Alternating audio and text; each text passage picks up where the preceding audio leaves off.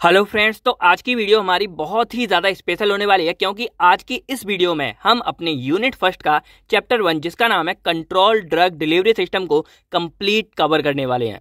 जी हाँ दोस्तों तो आज की इसी वीडियो में आपको जो भी कंट्रोल जितने भी टॉपिक है, वो सारे के सारे आपके कवर हो जाएँगे। तो ऑब्वियसली बात है, देखो वीडियो तो लेंदी होने वाली है। तो इसके लिए दो मिनट आप पहले रूल समझ लो कि आपको आखिर ये वीडियो देखनी कैसे है। क्योंकि भाई, हर कोई जो है एक डेढ़ घंटे की वीडियो लगातार नहीं देखने वाला। तो इसीलिए हमने क्या किया कि जो इसका पूरा सिलेबस है, यहाँ पे आपको दिख रहा होगा, इसको हमने तीन पार्ट्स में डिवाइड रखा है। यानी आप बोल सकते हो कि ये वीडियो के तीन चैप्टर होंगे। पहले में आपको मिलेगा इंट्रोडक्शन टर्मिनोलॉजी डेफिनेशन देन उसके रेशनल हमारे, फिर advantage disadvantage and selection of drug candidate ठीक है? सेकंड जो हमारा इसमें चैप्टर रहेगा, वो हमारा सबसे ज़्यादा इंपॉर्टेंट पार्ट है इस पूरी वीडियो का, क्योंकि एग्ज़ाम में मोस्टली ना यही वाला जो हमारा क्वेश्चन है, वो टेन मार्क्स में पूछा जाता है, जिसका नाम है approaches to design control release formulation based on diffusion dissolution and ion exchange principle यानी कि सिंपल बोला जाए तो जो हमारा ये ड्रग डिलीवरी सिस्टम है कंट्रोल वाला, इसको आखिर हम बनाते कैसे हैं? वो वाला पूरा फंडा आपको इस वाले पार्ट में देखने को मिलेगा। देन थर्ड हमारा इसमें देखा जाएगा physicochemical and biological properties of drug relevant to control release formulation यानी कि जो हम सी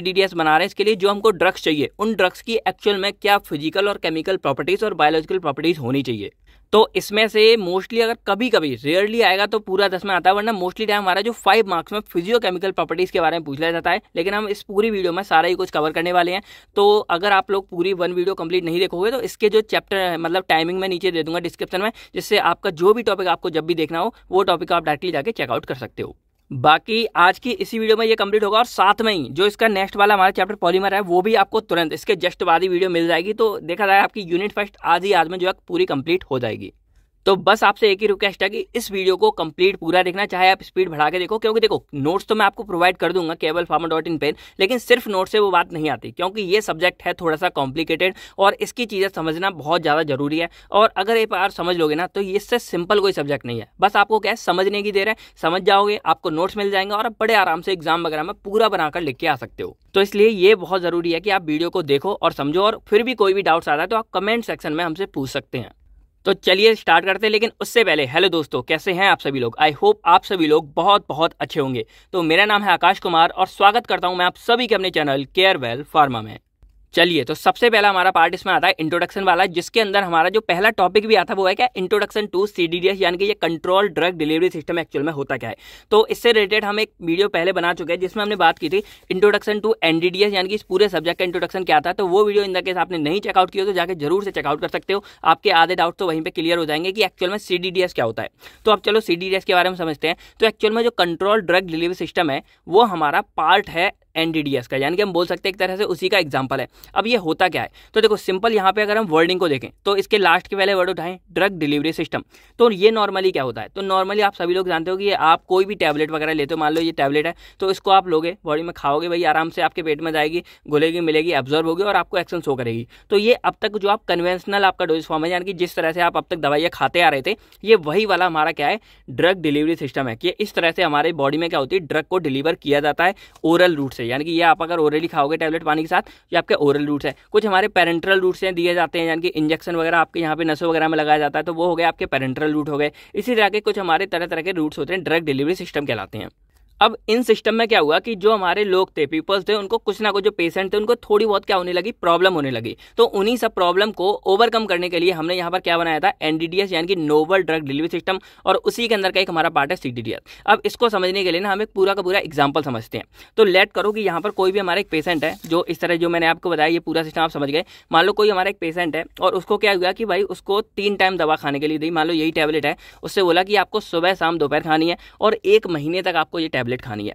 अब भाई ऑब्वियसली बात है कि अगर किसी को सुबह शाम दोपहर टैबलेट खानी पड़ेगी तो कितनी ज़्यादा प्रॉब्लम होगी। भाई, रोज़ खाना और बार बार खाने में भी प्रॉब्लम होती है ओरली खाने में भी प्रॉब्लम होती है। तो इन सबसे क्या होगा पेशेंट का थोड़ा बहुत मतलब दिमाग खराब होता है कई बार क्या होगा, वो जान के दवा को मिस कर देता है। वो कहता है, भाई, मेरा मन नहीं है, वो नहीं खाएगा। कई केस में वो धोखे से भूल जाता है कि भाई, सुबह शाम दोपहर खानी, मान लो किसी काम में बेची हो गया, या मान लो हमेशा वो घर नहीं होगा, सुबह कहीं बाहर हो गया, दोपहर बाहर हो गया। तो in the case any case में क्या होता है पेशेंट उस दवा को खाना भूल जाता है, उसको हम जो है पेशेंट कंप्लाइंसेस बोलते हैं। और ये सबसे ज़्यादा ड्रॉबैक है हमारे इस कन्वेंशनल ड्रग डिलीवरी सिस्टम का।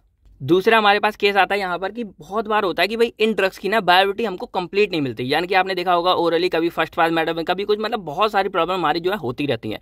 तो इन केस में क्या हुआ? लेट मैं आपको एग्ज़ाम्पल बताता हूँ। ये कहानी अभी याद रखें जो मैंने आपको बताई है कि मान लो एक भाई कोई मतलब मिस्टर पेशेंट है पी मिस्टर पी जो काफ़ी ज़्यादा एजेड हो गए हैं, पचास साठ उनके हो गए हैं और बीमार हैं काफ़ी ज़्यादा। तो उनको जो है डॉक्टर के पास आना पड़ता है दवा लेने के लिए डेली या कुछ टाइम बाद। तो उन्होंने क्या किया? परेशान होकर डॉक्टर बोला, अरे अब आया नहीं जाता, आप एक काम करो, ऐसा करो ना एक साथ जितनी भी दवाएँ सब हमारे अंदर भर दो। बस कुछ भी करो, बस हमको एक साथ दे दो बार बार आना जाना नहीं हो पाएगा हमसे, या कुछ भी हो। तो इसी तरह के हमारे कुछ साइंटिस्ट थे, उन्होंने इस बात को क्या ले लिया सीरियस ले लिया, और उसी के बाद उन्होंने क्या किया, इस तरह की जो हमारे एनडीडीएस है, इसकी क्या की डेवलपमेंट की। यानी कि नोवल ड्रग इन्होंने बोला कि भाई कन्वेंशनल से काम नहीं चल रहा, उन्होंने क्या कुछ नया तरह का हमारा ये ड्रग डिलीवरी सिस्टम कंपेयर किया, और इन्होंने क्या किया कि इस जो हमारे ये टैबलेट जो हम ले रहे थे कन्वेंशनल इनकी रिलीज़ को कंट्रोल कर दिया। कंट्रोल मतलब अपनी मर्ज़ी से। आप कंट्रोल का वर्ड क्या समझते हो? जैसे किसी को एक तरह से अपने मन के अकॉर्डिंग अकॉर्डिंग चलाना अपने बस में करना। अब बस में करना, वो लड़की वाला सीन मत समझना कि भैया मेरी गर्लफ्रेंड इसको मैं अपने बस में कर लूँ या वो वो कभी नहीं होने वाला।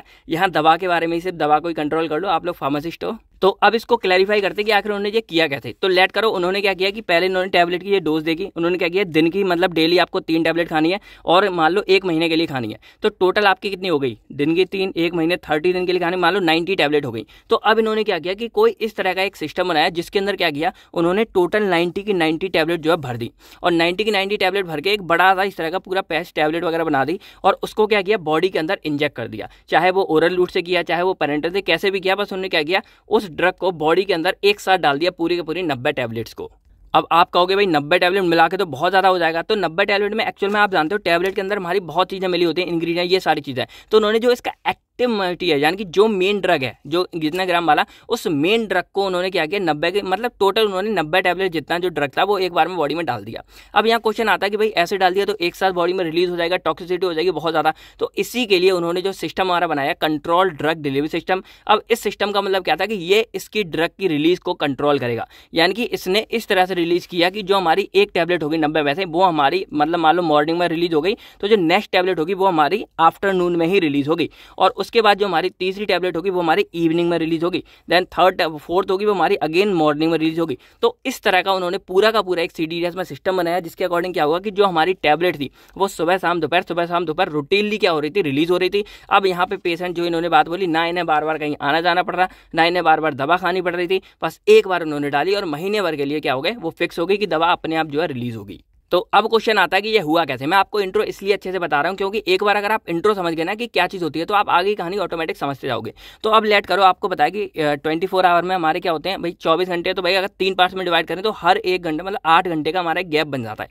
तो जो हमारी ये टैबलेट बनाई गई ना, इनको क्या किया, इन्होंने एक पॉलीमर के मैट्रिक्स में इस तरह से कवर कर दिया। अब ये मैट्रिक्स की खासियत क्या होगी कि इसमें से जो मैट्रिक्स है ये वाला, वो हर एक मैट्रिक्स क्या होगा, आठ घंटे में, यानी कि एट आवर में क्या होगा, एक रिलीज़ होगा और हमारे जो टैबलेट या ड्रग है वो रिलीज़ हो जाएगा। देन नेक्स्ट जो मैट्रिक्स वो हमारा अगले आठ आवर में, यानी कि ये आठ होगा उसके नेक्स्ट एट आवर में ये हमारा क्या होगा? डिजोल्व होगा, टूटेगा, उसके बाद ये दूसरा हमारा रिलीज़ हो जाएगा। देन तीसरा हमारा अगले एट आवर में करेगा और ये रिलीज़ हो जाएगा। तो इस तरह करते करते क्या होगा? हमारी ये इस तरह की टाइमिंग बनेगी। स्लोली स्लोली हमारा जो है ड्रग बॉडी में रिलीज़ होता रहेगा और ना हमको टॉक्सिसिटी होगी, ना ही हमको बार बार दवा लेनी पड़ेगी, ना ही पेशेंट कोई दवा को खाना भूलेगा। कोई भी मतलब प्रॉब्लम हुई नहीं साइड इफ़ेक्ट होगा नहीं और बायोबिटी हमारी काफ़ी अच्छी होगी क्योंकि भाई स्लोली स्लोली हमारी बॉडी के अंदर पहले ही पहुँच चुका है। तो इस तरह से जो भी हमारी प्रॉब्लम थी कन्वेंशनल में, उन सब प्रॉब्लम को ओवरकम किया हमारे इस एनडीडीएस और सीडीडीएस ने। तो यही हमारा एक्चुअल में होता है control drug delivery system I hope आपको समझ आ गया होगा कि जो भी चीज़ें हमारी होती थी पेशेंट की, उन सबको क्या किया, इन्होंने पहले तो ओवरकम किया। दूसरी, हमारी बॉडी में इन्होंने क्या किया स्लो रिलीज़ किया ड्रग को। यानी कि एक तो ड्रग को बहुत एक साथ मतलब बॉडी में दे दिया, दूसरा स्लो रिलीज़ किया कि स्लोली स्लोली हमारी बॉडी में जो ड्रग था, वो रिलीज़ होता रहेगा और अपना एक्शन शो करता रहेगा। हमको बार बार ड्रग दवा खाने की ज़रूरत नहीं पड़ेगी। तो आई होप आपको बेसिक इंट्रो समझ आ गया होगा क्या कैसे है, बाकी इस पेज को मैं साइड रखता हूँ, इसी के अकॉर्डिंग करेंगे। अब हम समझते हैं अपनी डेफिनेशन को, कुछ यहाँ पे जो इंपॉर्टेंट वाली है। तो पहले हम एनडीडीएस को ही समझते हैं तो नोवल ड्रग डेव सिस्टम्स की फुल फॉर्म है। कई बार दो नंबर वगैरह में आ सकता है। मतलब ये वीडियो मैं सिंपल बता रहा हूँ ना, आप ये वीडियो कंप्लीट देखोगे ना तो आपको ऐसा लगेगा आप एग्ज़ाम के लिए कंप्लीट तैयारी आपकी हो चुकी है। तो अब एनडीडीएस को समझें तो it refer to the approaches formulation technology and system for transporting a drug of pharmaceutical compound in the body as needed to safety achieve it desire therapeutic effect तो वही है कि इन सबका जो मेन काम था, यानी कि जो भी ये सारी टेक्निक वगैरह थी, इनका मेन काम था कि ये हमारी बॉडी में ट्रांसपोर्ट कर रहे हैं क्या को? ड्रग को, या फिर कोई से फार्मास्यूटिकल कंपाउंड को। और इस तरह कर रहे हैं कि वो हमारा सेफ़ भी हो और हमारी बॉडी में जो भी थेरापेटिक इफ़ेक्ट है, वो हमारी बॉडी में मिल सके। या इसी डेफिनेशन को सिंपल वे मैंने यहाँ लिखा है कि it is a novel approach to drug delivery that address the limitation of the traditional drug delivery system यानी कि जो हमारा कन्वेंशनल या ट्रेडिशनल सिस्टम है, उनकी जो भी प्रॉब्लम है, उन सबको लिमिट यानी कि ओवरकम किया हमारे इस नोवल ड्रग ने तो उसी तरह से यहाँ डेफिनेशन बन गई। अब हमारा मेन चैप्टर का यहाँ पे आता है सी की डेफिनेशन तो इसको हम बोलते हैं कंट्रोल ड्रग डिलीवरी सिस्टम अब इसका मेन काम क्या था कि it maintain the suitable and desire drug release over an extended time period और फॉर अ लॉन्गर टाइम अब देखो सूटेबल मतलब जो हमारी बॉडी के लिए सही है और डिज़ायर जो हम चाहते थे. हम क्या चाहते थे कि कोई भी जो हमारा ड्रग है, अब इस पेशेंट की अगर नज़र में लेंगे तो हम ये चाहते थे कि कोई भी जो ड्रग है हमारा, वो हर मतलब एट एट आवर के बाद तीन बार हमारी बॉडी में रिलीज़ हो और महीने भर तक रिलीज़ हो। तो इसी तरह का हमारा सिस्टम इस सी डी एस ने बना के दिया over an extended time period extended का मतलब होता है लॉन्गर टाइम यानी कि अब यहाँ पर क्या होगा जो हमारा ड्रग था वो हमारी बॉडी में लंबे लंबे टाइम तक रोका रहेगा और स्लोली हमारी बॉडी में ड्रग को रिलीज़ करेगा। तो ये हमारा पॉसिबल कैसे हुआ? It is formulated by using a different different type of polymer matrixes तो ये पॉलीमर की मैट्रिक्स की वजह से हमारा ये क्या हुआ? पूरा पॉसिबल हो पाया। इसके बारे में भी नेक्स्ट हमारे चैप्टर पॉलीमर उसको भी हम डिटेल्स में पढ़ेंगे। तो अब अगर हम यहाँ सी को, एक तो ये डेफिनेशन हो सकता है, आप लिख सकते हो। या इसको और डिफाइन करें तो बोल सकते हैं कि it release the drug continuously at a pre determinant rate for a fix time period यानी कि मैंने आपको क्या बताया कि ये हमारा पहला होगा, ये हमारा एट आवर तक एट आवर के लिए करेगा रिलीज़ एट आवर के बाद ये हमारा खत्म होगा ड्रग दूसरा हमारा रिलीज़ हो जाएगा एट आवर के लिए, फिर तीसरा होगा। तो इस तरह हमारा आठ आठ घंटे बाद एक एक ड्रग रिलीज़ होगा। तो हमारे यहाँ पे क्या है कि कंटिन्यूसली हमारा क्या होगा ड्रग रिलीज़ होगा at a pre determined rate pre determined मतलब हमने यहाँ क्या रिलीज़ किया था कि एक टैबलेट पर एट आवर में रिलीज़ हो रही है। तो हमने ये रेट से हमारा ये ड्रग पहले से बॉडी में डाल के बनाई है तो उसी रेट से, यानी कि पहले से जो हमें रेट पता हो, उसी रेट से हमारे जो ड्रग है, वो कंटिन्यूसली हमारी बॉडी में रिलीज़ होगा फिक्स टाइम के लिए, यानी कि हमने एक महीने के लिए डाला तो एक महीने के लिए हमारी बॉडी में रिलीज़ होगा। तो इस तरह से हमारे सी डी जो बोला वही यहाँ डेफिनेशन में सिंपल है, आप याद कर सकते हो। तो अब अगर हम मेन एम की बात करें, यानी कि जो हमारा सी है, उसका मेन एम क्या निकला? तो सबसे पहले नंबर पे it reduce the dosing frequency यानी कि इन्होंने क्या किया कि हमारी बॉडी में तो डोजिंग डोजिंग फ्रीक्वेंसी यानी कि जो हमको दवा बार बार लेनी पड़ रही थी, उसको तो इन्होंने खत्म ही कर दिया. सेकंड नंबर पे आता है रिड्यूस द डोज यानी कि जो हमारे बॉडी में मतलब अमाउंट ऑफ़ ड्रग है, यानी कि कई बार देखो कभी ज़्यादा हो जाती वो हो जाती इन्होंने सब एक बार हमको बस लेनी है डोज जो भी लेनी है, और कम अमाउंट में लेंगे. क्योंकि अब आपको बताएँ कि ये ड्रग है तो इसमें भाई एक एक टैबलेट बनाने में हमको अलग से एक्सीपेंट इंग्रीडियंट बहुत सारी चीज़ें लगानी पड़ती हैं. या हमने पूरा ड्रग दिया और सबको एक साथ बनाया तो हमारा एक्चुअल अमाउंट ऑफ़ ड्रग थोड़ा सा कम हो गया और हमको कम टॉक्सिटी वगैरह ये प्रॉब्लम होगी। और सबसे लास्ट क्या है? डिलीवर द ड्रग यूनिफॉर्मली तो वही मैंने बनाया कि कंटिन्यूसली हमारे ड्रग को रिलीज़ करेगा यूनिफॉर्मली यानी कि एट आवर में जितना एक टैबलेट होगी, जितनी हमने उतनी रिलीज़ होगी देन नेक्स्ट एट आवर में हमारा अगला रिलीज़ होगा। तो यहाँ पर कुछ भी वो नहीं भाई, सारा ऑटोमेटिक हो रहा है तो प्रॉब्लम तो है ही नहीं कि भाई कम ज़्यादा का। लेकिन हमारे केस में हो जाता है, कई बार हम, जैसे आप, अगर मैं छोटा एग्ज़ाम्पल वहाँ मान लो आपने सुबह आठ बजे या दस बजे, सुबह सब फ्री होकर नौ दस बजे खा पाते हो, फिर दो बजे लेते हो, कितना गैप हुआ? तीन चार घंटे का हुआ, आठ घंटे का गैप तो हो नहीं पाया। फिर शाम को आप खाते हो भाई, आप फिर से आठ नौ बजे खा लेते हो। तो यहाँ पर कितना गैप होगा ज़्यादा का हो गया दस घंटे। फिर आप लौट के दस बजे खा रहे हो, यहाँ बारह घंटे का गैप हो गया। तो इस तरह आप यूनिफॉर्मिटी नहीं है, आपका टाइम एट एट आवर का डेफिनेट नहीं हो जाता। तो यही रीज़न है कि ये एन ने हमारे कन्वेंशनल या ट्रेडिशनल सिस्टम को काफ़ी ओवरकम किया है। तो यहाँ पर हमारा पूरा अगर देखा जाए तो ये इंट्रोडक्शन का पार्ट पूरा अच्छे से खत्म हो चुका है। डेफिनेशन वगैरह सारे हो चुकी हैं, कैसे क्या था सब हो गया। हमारा नेक्स्ट यहाँ पार्ट आएगा टर्मिनोलॉजी या डेफिनेशन ठीक है? तो इसमें बेसिकली हमारे पास कुछ डेफिनेशन है, जो हमारे सीडीडीएस से रिलेटेड है। यानी कि जो हमारा कंट्रोल ड्रग डिलीवरी सिस्टम है ना, उसी से कनेक्टेड कुछ हमारी डेफिनेशन हैं या कुछ हमारी टर्मिनोलॉजी है, उन्हीं को हम यहाँ पे डिफाइन करेंगे। तो पहले इस तरह से आप यहाँ पे नाम पढ़ लो। मैंने सात आठ लिखे हैं, वैसे तो बहुत ज़्यादा थे। इन्हीं को हम शॉर्ट में समझ लेंगे।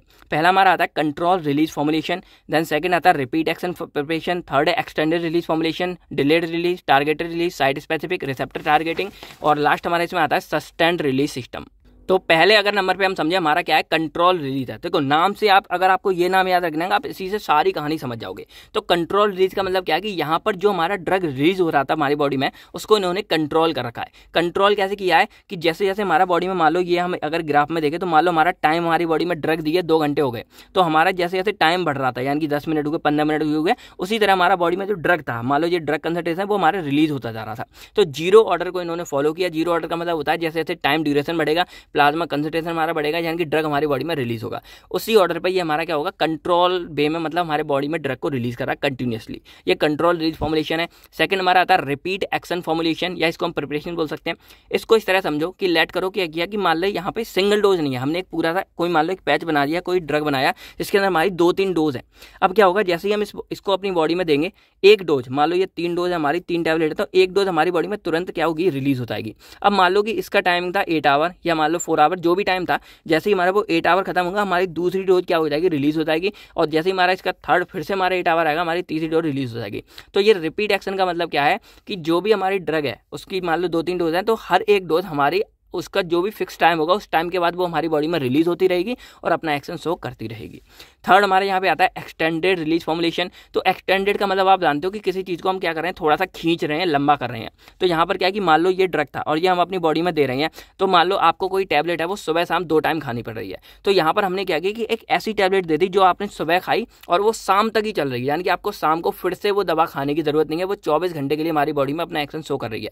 तो इस तरह को हम बोलते हैं those drug which last longer in our body यानी कि हमारी बॉडी में वो थोड़े से लंबे टाइम के लिए स्टेबल रहते हैं, लंबे टाइम के लिए अपना एक्शन शो करते हैं। और वो कैसे करेंगे? अगर हम उसका एलिमिनेशन रेट घटा दें, यानी कि हमारी बॉडी से जो ड्रग रिलीज़ होता है एग्जिट आउट होता है, बाहर हमारी बॉडी से निकलता है, उस रेट को अगर हम कम कर देंगे तो वो ड्रग हमारी बॉडी में ज़्यादा टाइम के लिए रुका रहेगा और हमारी बॉडी में अपना एक्शन शो करेगा। तो यही हमारे होते हैं एक्सटेंडेड रिलीज़ फॉर्मुलेशन और इसमें बेसिकली क्या कर सकते हैं हम? डोज फ्रीक्वेंसी को कम करेंगे, जो मैंने बताया। सुबह शाम खानी पड़ रही है, अब आप सिर्फ़ एक बार खाओगे तो ये हमारा टू फोल्ड रिडक्शन करता है। टू फोल्ड का मतलब है, मान लो किसी टैबलेट को आपको दिन में चार बार खाना है तो आप सिर्फ़ दो बार खाओगे। अगर मान लो किसी टैबलेट आप दो बार खाना है तो वो सिर्फ़ आप एक बार खाओगे। तो टू फोल्ड तक रिडक्शन कर दिया, दो को एक में इन्होंने क्या किया कन्वर्ट कर दिया। ये होता है हमारा एक्सटेंडेड रिलीज़ फॉर्मुलेशन फोर्थ हमारी डेफिनेशन आती है डिलेड रिलीज़ फॉर्मुलेशन तो डिलेड का मतलब होता है लेट यानी कि हम जैसे हर बार कॉलेज वगैरह में, हम तो मोस्टली लेट वगैरह ही पहुँचते तो कॉलेज में मान लो आपका टाइम साढ़े नौ या दस है तो आप साढ़े दस, साढ़े ग्यारह पे पहुँच रहे हो तो एक तरह से इनका मतलब होता है डिले हो जाना, यानी कि लेट हो जाना। अब ये फॉर्मुलेशन में क्या मतलब है? तो इसका मतलब है कि मान लो आपने कोई भी टैबलेट वगैरह मान लो ये दी तो ये बॉडी में जाके क्या करेगी? तुरंत अपना एक्शन शो नहीं करेगी, ये कुछ टाइम बाद जाके अपनी बॉडी में एक्शन शो करेगी तो ये तो या तो स्पेसिफिक टाइम के बाद आपकी बॉडी में जाकर रिलीज़ होगी, या हो सकता है कि ये किसी स्पेशल पर्पज के लिए हो या स्पेशल जगह, जैसे एग्ज़ाम्पल के लिए हमारी एंट्रिकोटेड डोजेस फॉर्म होती है। तो एंट्रीकोटेड वाली टैबलेट्स आप जानते हो कि ये टैबलेट जब आप खाओगे तो आपके पेट में जाकर वो रिलीज़ नहीं होगी, क्योंकि उसके ऊपर जो एंट्रीकोटेड है ना, वो सिर्फ़ क्या होगी हमारी इंटेस्टाइन में जब जाएगी, वहाँ जाकर रिलीज़ करेगी और जो इंटेस्टाइन में जो भी एक्शन लोकली शो करेगी, या बॉडी में ऑब्ज़र्व होगी। तो पेट में ऐसी उन दवा पे हम ये वाली कोटिंग करते हैं जो हमारी एसिड वगैरह में खराब हो सकती है पेट में। तो ये हमारी एंट्रीकोटेड होती हैं, यानी कि जो लेट एक्शन शो करेंगी। एडमिनिस्टर करने के बाद तुरंत अपना एक्शन शो नहीं करेंगी, थोड़े से टाइम बाद अपना एक्शन शो कर रही है।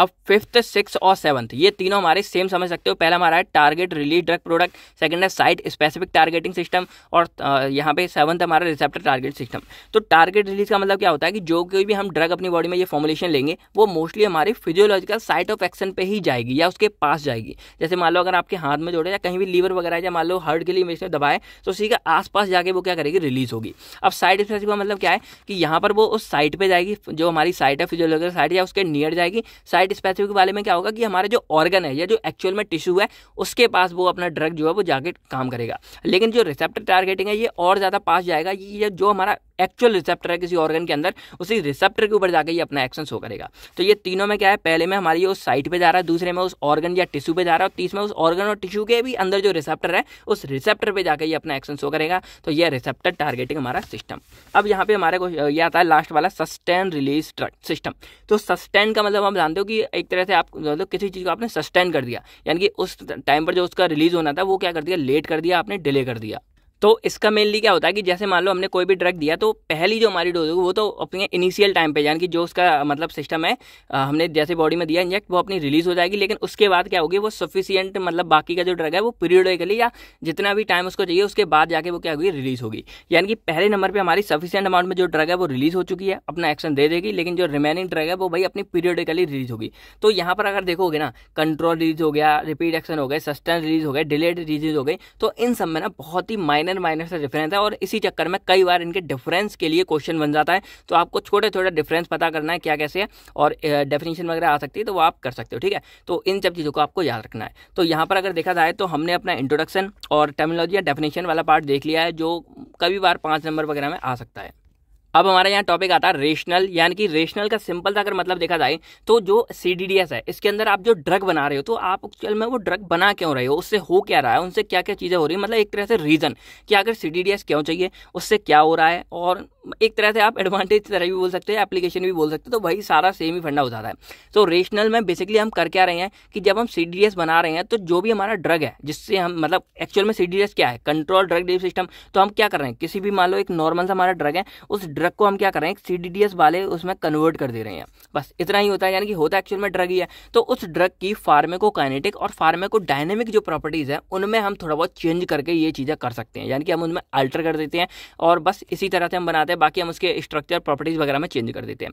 तो यहाँ पर दो तरह के हमारे रेशनल हैं। पहला हमारा होगा मेडिकल रेशनल और सेकंड हमारा होगा बायोलॉजिकल रेशनल तो मेडिकल रेशनल में क्या है कि हम यहाँ पर रिड्यूस कर देंगे डोजिंग फ्रीक्वेंसी को। यानी कि जब हम यहाँ पर रेशनल बना रहे हैं तो भाई बार बार किसी को ड्रग लेने की ज़रूरत नहीं पड़ेगी। दिन में एक दो बार मतलब कम हो जाएगा उसका। तो डोजिंग फ्रीक्वेंसी आप जानते हो कि बार बार दवा नहीं लेनी पड़ेगी। फिर यहाँ पे आता है मिनिमाइज प्लाज्मा कंसंट्रेशन फ्लैक्चुएशन अब आप ये जानते हो कि कई बार जब हम ड्रग लेते हैं तो क्या होता है? रिलीज़ भाई कम ज़्यादा हो जाती है और हमारा जो ड्रग रिलीज़ होता है, वो बॉडी में जाके क्या करेगा?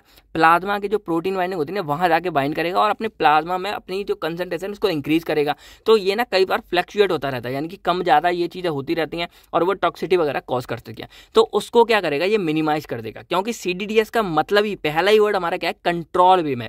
यानी कि ये हमारे रिलीज़ को कंट्रोल कर रहा है ड्रग की रिलीज़ को। तो जब ड्रग ही हमारा एक मैनर में, यानी कि आपने देखा होगा ना डिसिप्लिन में कोई चीज़ चलेगी तो वही अच्छी रहती है। तो यहाँ पर हमारा क्या होगा ड्रग डिसिप्लिन में यानी कि रिलीज़ होगा एकदम बहुत ही फिक्स कंट्रोल वे में। तो ये प्लाज्मा कंसनट्रेशन हमारी क्या हो जाएगी, ये स्लो मतलब ऑटोमेटिक क्या हो जाएगी, ठीक हो जाएगी एब्जॉर्प्शन हमारी स्लो रेट से होगी तो भाई फ्लक्चुएशन हमारी नहीं होगी और टॉक्सिसिटी हमारा प्रिवेंट हो जाएगी। तो ये हमारा सिंपल था फंडा इसमें। फिर उसके बाद बेटर पेशेंट कंप्लेन ये आप जानते ही हो कि भाई बार बार दवा नहीं लेनी पेशेंट की जो भी प्रॉब्लम है उन सबको ओवरकम कर सकते हैं।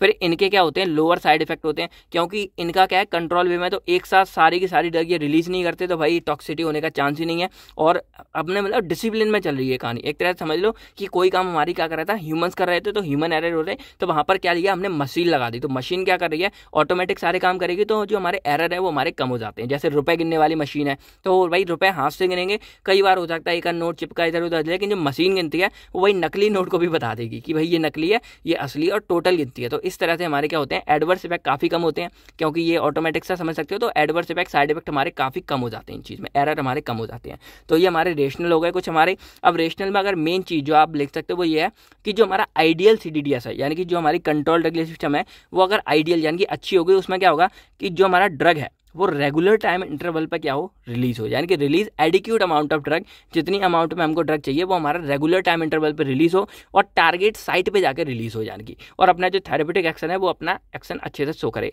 यानी कि सिंपल अगर देखा जाए तो सीडीडीएस के हमारे ओवरऑल कंक्लूजन क्या निकल के आते हैं? पहले नंबर पर क्या होगा कि वो हमारा क्या करेगा? एडिक्यूट अमाउंट यानी कि जितना हमको ड्रग चाहिए, उतना वो क्या करेगा? रिलीज़ करेगा। एक तरह से उसने ड्रग की रिलीज़ को कंट्रोल कर दिया।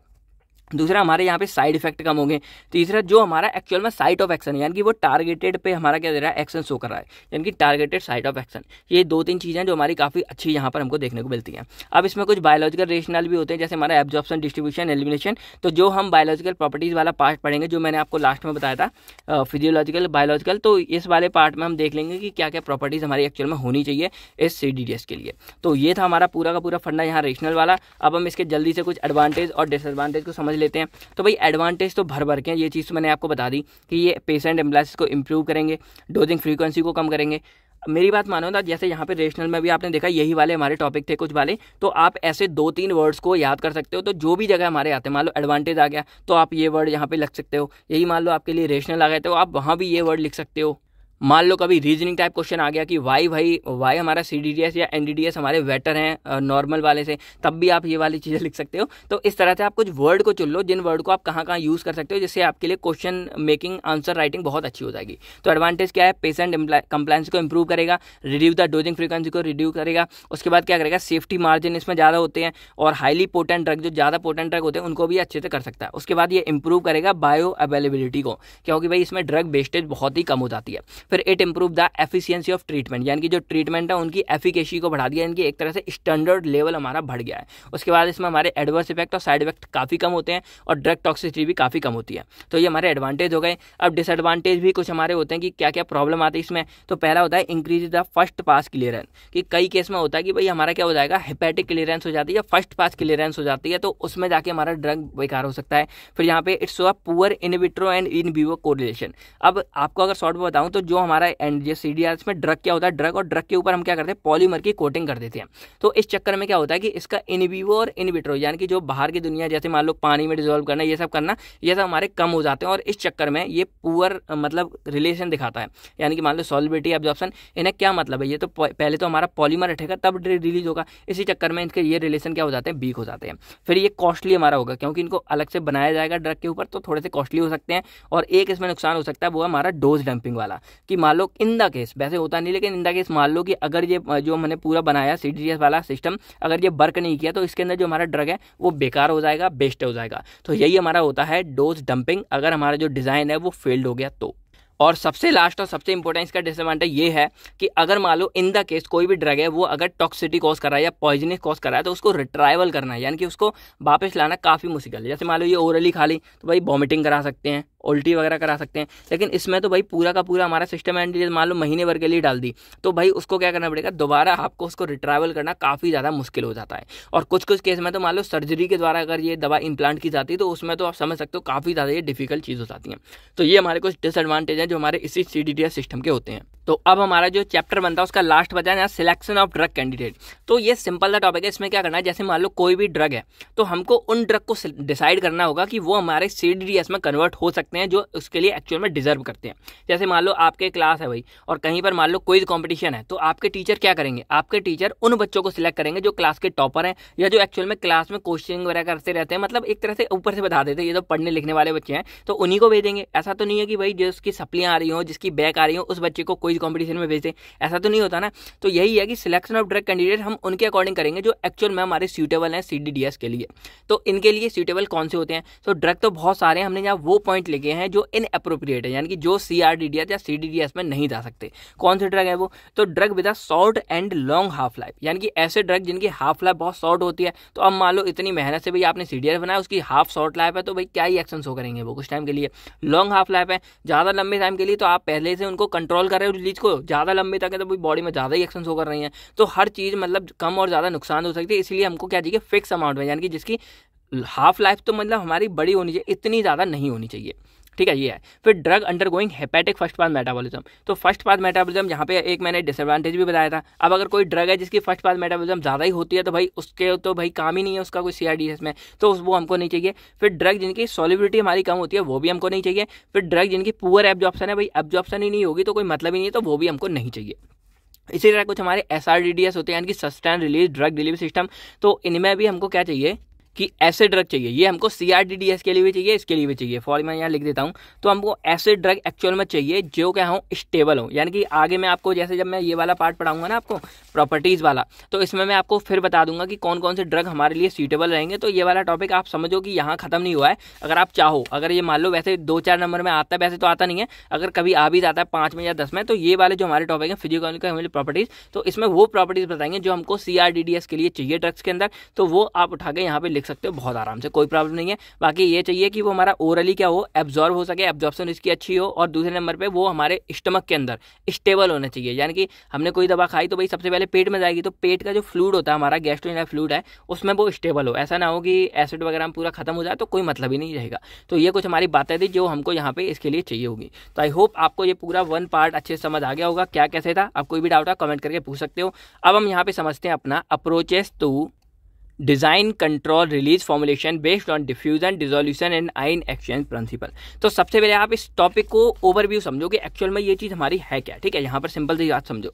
तो लेट करो, आपको यहाँ पर क्या बनानी है? दवा बनानी है, जिसका नाम क्या है? C R D D S यानी कि control release drug distribution system अब ये कंट्रोल रिलीज़ जो हमारी फॉर्मुलेशन होगी, इसका मेन चीज़ क्या है? कि ये हमारे ड्रग को कंट्रोल कर पा रही है। किसको कर रही है? Control the release of drug यानी कि जो हमारा ड्रग था, जो रिलीज़ हो रहा था हमारी बॉडी में, उस रिलीज़ को क्या कर रही है? कंट्रोल कर रही है। अब कंट्रोल का मतलब क्या होता है? अब भाई ये तो नहीं है कंट्रोल का मतलब बहुत तेज कर रहे हो आप। वहाँ पे क्या कर रहे हो? मोस्टली टाइम आप क्या कर रहे हो? स्लो कर रहे हो। यानी कि हम ड्रग की रिलीज़ को स्लो कर रहे हैं, जिससे वो हमारी बॉडी में लंबे टाइम तक अपना एक्शन शो कर पाए। तो उसके लिए क्या करते हैं? पहले हम सिंपल सा मतलब समझते हैं कि बॉडी में काम कैसे होता है। तो मान लो कोई भी टैबलेट आप खा रहे हो तो खाने के बाद आपके कहाँ जा रही है? स्टमक में जा रही है, पेट में जा रही है। अब पेट को यहाँ थोड़ा सा मैंने जूम कर दिया, बड़ा पेट बना दिया मोटे आदमी का। तो यहाँ पर क्या होगा? जो हमारी टैबलेट होगी, उसकी सबसे पहले होती है हमारी डिसइंटीग्रेशन यानी कि यहाँ पर जो हमारी टैबलेट है, वो यहाँ पे टूटेगी, इस तरह छोटे छोटे पार्ट्स में कन्वर्ट हो जाएगी। अब जैसे ही हमारे यहाँ कन्वर्ट हो जाती है, उसके बाद हमारे जो पेट के अंदर हमारे जो फ्लूड होता है, यानी कि एसिड होता है, कुछ पानी भी हम जब टैबलेट खाते हैं तो आप एक दो गिलास, एक गिलास पानी पीते हो ना तो वो पानी भी बॉडी के पेट के अंदर आ जाता है। उसके बाद हमारे बॉडी के अंदर कुछ फ्लूड्स होते हैं एसिड होता है कायम मतलब पूरा कायम बन जाता है तो उसके अंदर ये हमारा ड्रग क्या होगा, वो क्या होगा, अच्छे से जाके क्या हो जाएगा रिलीज़ हो जाएगा। और रिलीज़ होने के बाद क्या करेगा, वो हमारे उस सॉल्वेंट जो भी मतलब पूरा का पूरा वो फ्लूड है, उसके साथ जाके अच्छे से मिक्स करके पूरा का पूरा एक सॉल्यूशन तैयार करेगा। तो इस टूटने को हम कहते हैं डिसइंटीग्रेशन और जो ये हमारे सॉल्यूट मतलब डिसइंटीग्रेट छोटे छोटे पार्ट्स हैं, ये हमारे जो सॉल्वेंट यानी कि जो हमारे बॉडी के अंदर स्टमक के अंदर फ्लूड है, उसके साथ जाके जो पूरा मिक्स होगा, उसको हम बोलते हैं डिजोल्यूशन यानी कि एक तरह से यहाँ जो सॉल्यूट बन गई है हमारे ड्रग और जो पेट का होता है, वो हमारा सॉल्वेंट बन गया। तो इसमें ये पूरा मिक्स होगा और इसी को हम क्या बोलेंगे, यहाँ पे डिजोल्यूशन बोलेंगे। और जब ये हमारा हो जाता है, उसके बाद ये क्या होगा, हमारे यहाँ पे जाके क्या करेगा एब्जॉर्ब करेगा। और एब्जॉर्ब हमारा मोस्टली ड्रग होता है डिफ्यूजन वाली प्रोसेस के ज़रिए। तो डिफ्यूजन वाली प्रोसेस आप जानते हो कि इसमें क्या होता है कि जो हमारे ड्रग पार्टिकल्स हैं, वो हाइयर कंसनट्रेशन से लोअर की तरफ़ मूव करते हैं। अब यहाँ पर हमारा ड्रग हमने अभी अभी टैबलेट खाई तो भाई मोस्टली ड्रग हमारा बाहर है। तो यहाँ से ड्रग हमारा क्या करेगा? ऑटोमेटिक इस वाले ब्लड सेल्स में क्या करेगा? मूव करेगा और इससे क्या होगा? हमारे ये इसी वाली प्रोसेस को हम डिफ्यूजन बोलते हैं। तो अब हमको करना है ये सी यानी कि हमको इस तरह कंट्रोल करना है इनकी रिलीज़ ऑफ़ ड्रग को। तो यहाँ पर हम क्या कर सकते हैं? एक तो हम इस डिजोल्यूशन वाली प्रोसेस को क्या कर सकते हैं? स्लो कर सकते हैं या रोक सकते हैं। बहुत ही स्लो कर देंगे। तो अब क्या होगा? हमारा ड्रग यहाँ पहुँच जाएगा पेट के अंदर लेकिन डिस्ट्रीब्यूट हो जाएगा लेकिन जो डिजोल्यूट होगा। यानी कि हमारे इस कायम के साथ जो हमारा बाकी का फ्लूड है पेट का जो हमारे बाकी सॉल्वेंट है उसके साथ जो वो मिक्स होगा इस प्रोसेस को हम स्लो कर सकते हैं। और जब हम इसको स्लो कर देंगे तो जो हमारा ड्रग है वो ऑटोमेटिक क्या हो जाएगा? स्लो डाउन हो जाएगा। और इन्हीं इसको हम कर सकते हैं डिजोल्यूशन वाली प्रोसेस से और जब हम ये कर देंगे तो जो हमारा आ, मतलब ड्रग है वो ऑटोमेटिक क्या हो जाएगा? सी के अंदर चला जाएगा। दूसरा है कि हम यहाँ पे एब्जॉर्ब होगा ये होने के बाद तो एब्जॉर्ब होता है तो भाई वहाँ पर होती है डिफ्यूजन प्रोसेस तो हम इस डिफ्यूजन वाली प्रोसेस को भी कर सकते हैं? स्लो कर देंगे। यानी कि जो हमारी डिफ्यूजन के ज़रिए क्या हो रहा है? एब्जॉर्प्शन हो रही है। तो एक तरह से हम डिफ्यूजन के ज़रिए एब्जॉर्प्शन को भी स्लो कर रहे हैं। तो जब हम यहाँ पे डिफ्यूजन वाली प्रोसेस को स्लो कर देंगे तो ये भी हमारे एक तरह से सी में फॉर्म हो जाएगा। और तीसरी चीज़ कहाँ ये होती है कि भाई कुछ हमारे ऐसे होते हैं आयोनिक वाले ड्रग होते हैं। तो आयोनिक ड्रग को भी हम स्लो कर सकते हैं। किसकी मदद से? तीसरा हमारा जहाँ पार्ट होता है आयन एक्सचेंज कंट्रोल रिलीज़ तो इसको जब हम पढ़ेंगे, तभी मैं आपको समझा दूँगा कि ये एक्चुअल में चीज़ क्या होती है। बाकी और भी चीज़ें आप जानते हो कि भाई ये सारे कर सकते हैं, उसके बाद हमारे जो बॉडी का एलिमिनेशन रेट है, उसको हम कर सकते हैं प्रोटीन बाइंडिंग को कम करते हैं, ये बहुत चीज़ें हैं जिसको हम यहाँ पे कंट्रोल कर सकते हैं। अब इन सबको करने के लिए, आपने ये तो समझ लिया कि भाई डिजोल्यूशन को हम कम कर सकते हैं, ये समझ लिया कि डिफ्यूजन को कम कर सकते हैं। अब करेंगे कैसे कम? तो इसका सिंपल सा आंसर है कि भाई डिजोल्यूशन में क्या हो रहा है? इसका हमारा हो रहा है ब्रेक डाउन डिफ्यूजन में क्या हो रहा है? इसका हमारा हो रहा है ब्रेक डाउन और ये हमारे यहाँ पे एब्जॉर्व हो रहा है घुल मिल के। तो अगर हम क्या करें कि जो हमारा ड्रग पार्टिकल है, इसके ऊपर अगर हम एक पूरी की पूरी कवरिंग कर दें, किसकी कर दें? पॉलीमर की कवरिंग कर दें। तो अब यहाँ पर क्या होगा? डिजोल्यूशन के केस में क्या होगा कि अब पहले क्या होगा, हमारा जो ये पॉलीमर का कवरिंग है ना, ये पॉलीमर हमारा क्या होगा डिजोल्व होगा। और जब हमारा ये धीरे धीरे पॉलीमर खत्म हो जाएगा देन हमारे अंदर का जो ड्रग है, वो बाहर निकल के आएगा और देन हमारा जो है ड्रग यहाँ पे अपना एक्शन शो करेगा।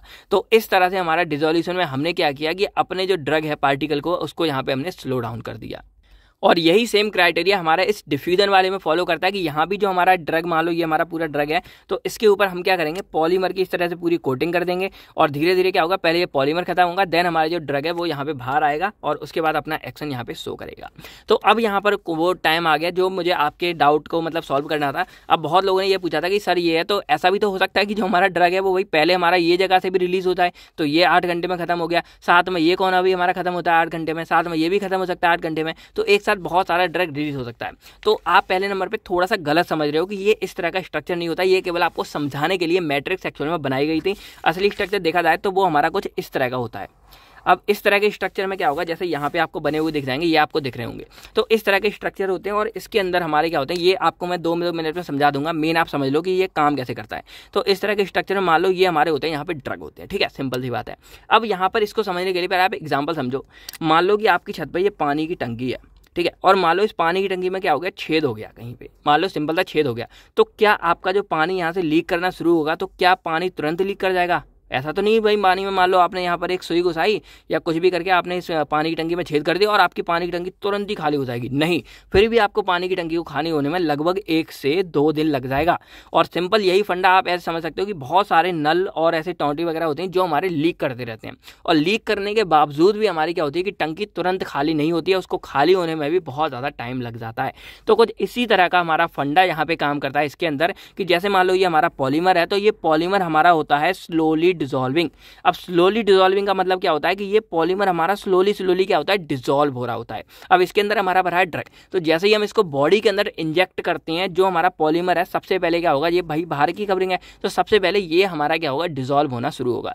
और डिजॉल्व होगा तो स्लोली स्लोली क्या होगा? ये हमारा पहले पतला होगा, यानी कि कमज़ोर होगा। और कमज़ोर होगा तो साथ में कहीं ना कहीं, जैसे यहाँ छेद होते हैं, इसी तरह के कहीं ना कहीं हमारे पतले सतले यहाँ के होते हैं? थोड़े थोड़े छेद हो जाते हैं। और इस चक्कर में जो हमारा ड्रग है, वो क्या होगा? धीरे धीरे हमारा इससे बाहर निकलना शुरू हो जाता है।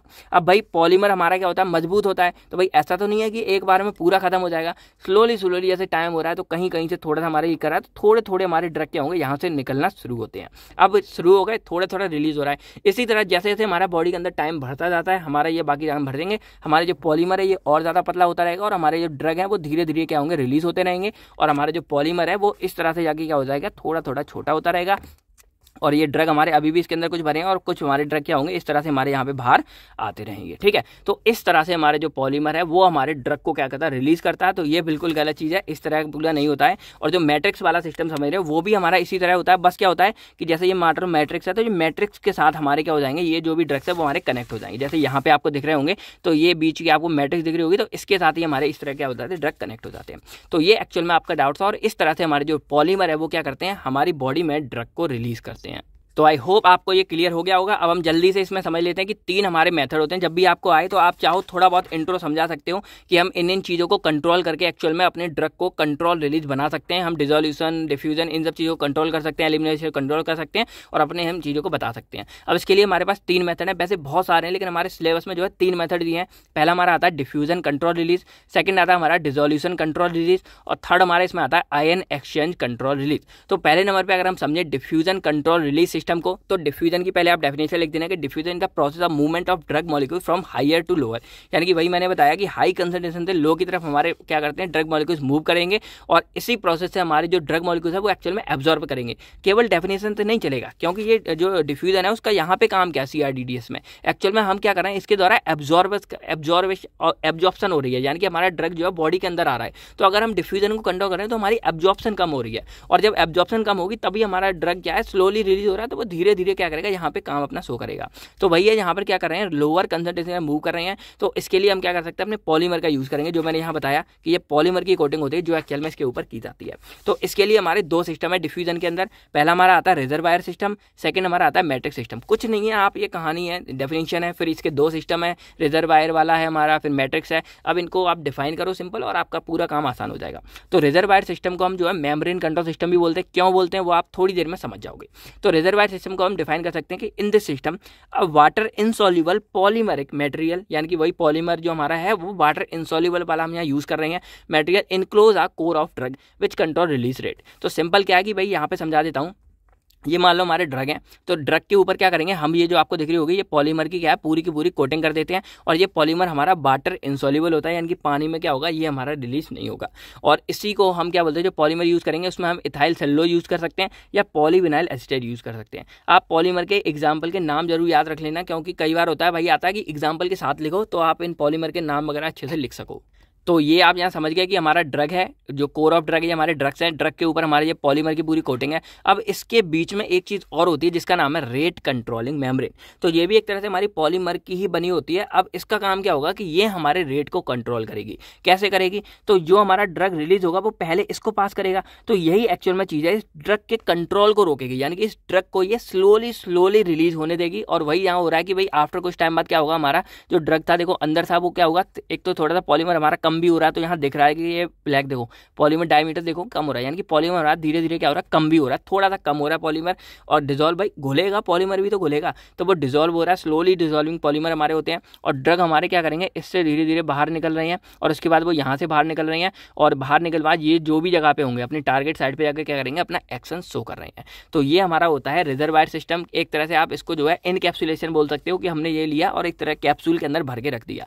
तो ये हमारा होता है पूरा का पूरा रिजर्वायर सिस्टम और इसको कंट्रोल करता है मेनली हमारा कौन कंट्रोल करता है? ये रेट कंट्रोलिंग जो मेमोरीन है, वो एक्चुअल में देखो, यहाँ लिखा हुआ है रेट कंट्रोलिंग मेमोरीन हमारी इस डिलीवरी के जो रेट है, इसको कंट्रोल करेगी। तो ये हमारा पूरा सिस्टम था पॉलीमर हमारे इथाइल सेलुलोज या पॉलीविनाइल एसिटेट हम यहाँ पे यूज़ कर रहे हैं। और इसीलिए इसको मेमरिन कंट्रोल बोलते हैं, क्योंकि जो मेन हमारी इसमें क्या है, एक अलग से मेमरिन है, जो इसकी ड्रग की रिलीज़ को कंट्रोल करेगी। ठीक है तो ये आप यहाँ समझ गए होगे। अब ये थोड़ी सी चीज़ ऐसी है कि अगर मान लो कभी दस नंबर में आता है तो आप इसको यूज़ कर सकते हो। कि अब यहाँ पर देखो, मैंने क्या बताया ड्रग हमारा क्या करा, यहाँ से रिलीज़ हो रहा है। लेकिन जो ड्रग रिलीज़ हो रहा है, इसको भाई हम मीजर कैसे करेंगे? कितना ड्रग कैसे रिलीज़ हो रहा है? तो इसके लिए यहाँ पर हमारी एक इक्वेशन दी है, जो हमारी फिक्स लॉ है। यानी कि डिफ्यूजन का जो फिक्स लॉ आपको पता होगा फिक्स जी ने लॉ दिया था, वो हमारा है। तो वो यहाँ पर है D M upon D T is equal to A D K dot D C upon L तो क्या क्या होता है? ए हमारा होगा एरिया जो भी हमारा ड्रग का जैसा है। उसके बाद डिफ्यूजन कॉफिशियंट हमारा होगा। फिर के फॉर पार्टीशन कॉफिशियंट है ड्रग वर्सेज मेमरेन जो यहाँ मेमरेन वो। और ये हमारा concentration difference between across membrane है और ये डिफ्यूजन लेंथ पाता है। मेरी बात मानो तो इसको आप छोड़ो, क्योंकि इतना मतलब नहीं हो पाएगा। अगर दस में आता है तो आपके लिए तीन जो मेथड है ना, यही इनफ है, क्योंकि इसके भी हमारे दो पार्ट्स हैं, इसके भी हमारे दो पार्ट्स हैं। तो देखा जाए one two three four five आपके लिए चीज़ हो जाएँगे, जो मोर देन इनफ है आपके लिए दस नंबर के अकॉर्डिंग तो आप चाहो तो इस वाले पार्ट को स्कीप कर सकते हो। अब हमारा सेकंड यहाँ पे सिस्टम आता है, वो आता है हमारा मैट्रिक सिस्टम तो मैट्रिक सिस्टम इसको हम जो है monolithic D D drug live system भी बोलते हैं, कई जगह पे आप मैट्रिक्स नाम से याद रखना. तो इसके अंदर बेसिकली क्या हो रहा है कि जैसे वहाँ पे हम क्या देख रहे थे कि हम ड्रग को क्या कर रहे थे इनक्लोज कर रहे थे इसके अंदर बेसिकली लेकिन यहाँ पर थोड़ा सा अलग, यहाँ पर क्या करेंगे, जो हमारा ड्रग मॉलिक्यूल्स है, उसको हम होमोजीनियसली यानी कि और कोई मतलब हेडो नहीं है होमोजीनियसली अपना जो रेट कंट्रोलिंग इनसॉल्यूबल मैट्रिक्स है, यानी कि जो हमारी ये मैट्रिक्स आपको दिख रही है, बनी हुई, इस मैट्रिक्स का डिजोल्व कर देते हैं. यानी कि ये मैट्रिक्स के साथ ही क्या हो जाएँगे, इस तरह से इंट्रैप हो जाते हैं मैट्रिक्स के अंदर हमारे फंस जाते हैं, पूरे के पूरे आपको यहाँ दिख रहे होंगे। तो ये हमारा एक्चुअल में होता है मैट्रिक्स पूरा सिस्टम और यहाँ भी पॉलीमर हम जो है इथाइल सेलुलोज का ही यूज़ करेंगे। अब क्या होगा, ये जो जो मैट्रिक्स है वो हमारी किस किस चीज़ों की बन सकती है? तो या तो हमारे ये पॉलीमर की बनेगी इथाइल सेलुलोज जैसे हो गए, या हमारे कई बार ये बैक्स वगैरह की भी बनती है। बैक्स हमारे आपने सुने होंगे, जैसे बी वैक्स हो गया कार्नोवा वैक्स हो गया, या हाइड्रोजन कैस्टर ऑयल हो गया तो रिजर्वायर सिस्टम में आपने देखा कि रेट कंट्रोलिंग मेम्ब्रेन थी जो एक्चुअल में रिलीज़ को कंट्रोल कर रही थी। यहाँ पर हमारे क्या है, जो हमारी ये मैट्रिक्स हैं, ये एक्चुअल में होंगी, जो इस ड्रग की रिलीज़ को क्या करेंगी कंट्रोल करेंगी मेंटेन करेंगी, ठीक है? बाकी कई केस में हमारे कुछ हाइड्रोफिलिक मैट्रिक्स का भी यूज़ किया जाता है, जो हमारे एचपीएमसी हो गए हाइड्रोक्सी प्रोफ़ाइल मिथाइल सेलोज हो गए। फिर हमारी एच हो गई हाइड्रोक्सी प्रोफ़ाइल सेलोज हो गया जनथाइन कम हो गए तो ये कुछ चीज़ें हैं जिसके द्वारा हम ये मैट्रिक्स को बना सकते हैं। तो सिंपल था फंडा, देखो स्ट्रक्चर ज़रूर बना के आना, ये चीज़ एकदम क्लैरिफाई कर देता है कि किस तरह से हमारा जो पूरा सी है, वो बना है और काम कर रहा है। तो ये आपको ड्रग दिख रही है, ये इसके साथ में हमारी ये स्लोली डिजोल्विंग मैट्रिक्स आपको दिख रही है, ये हमारा इंसॉल्यूबल पूरा पॉलीमर दिख रहा है। अब क्या होगा, ये जैसे दिया जाएगा धीरे धीरे टाइम होगा, हमारे ये पॉलीमर से क्या होंगे धीरे धीरे हमारे ये ड्रग बाहर निकलेंगे। और यहाँ पे अगर आपको मैंने थोड़ा सेडिंग भी दी है कि हमारा जो स्लोली डिजोल्विंग मैट्रिक्स है, वो भी हमारा स्लोली स्लोली क्या हो रहा है डिजोल्व होता जा रहा है। और हमारे ड्रग जो है वो धीरे धीरे बाहर आते जा रहे हैं। तो ये फंडा सिंपल था।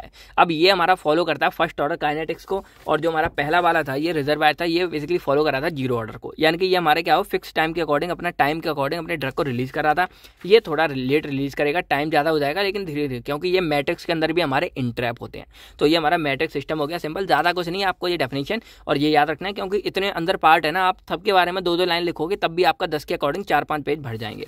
अब हम अपने सेकंड को समझते हैं, वो हमारा रहेगा डिजोल्यूशन कंट्रोल रिलीज़ यानी कि जो आपको मैंने यहाँ दिखा दिए थे कि पहला हमारा ये डिफ्यूजन कंट्रोल रिलीज़ हो गया, अब हमारी बारी आएगी डिजोल्यूशन कंट्रोल रिलीज़ और इसके भी हमारे दो पार्ट यहाँ पे रहने वाले हैं।